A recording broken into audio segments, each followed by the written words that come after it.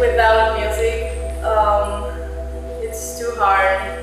Um, I've never done it before and it feels a little weird.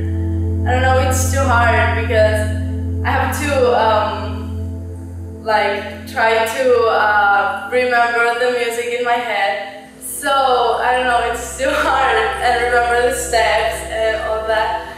But yeah.